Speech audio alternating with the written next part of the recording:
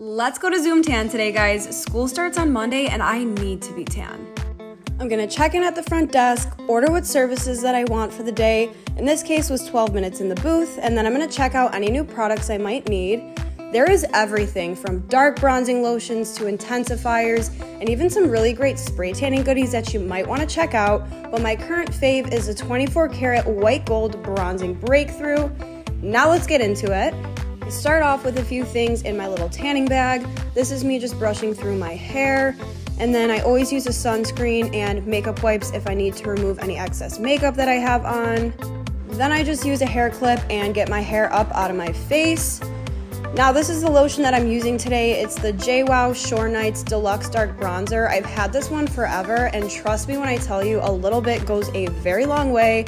just warm it up in my hands, start at the top with my arms, work my way down, and I never forget the armpits.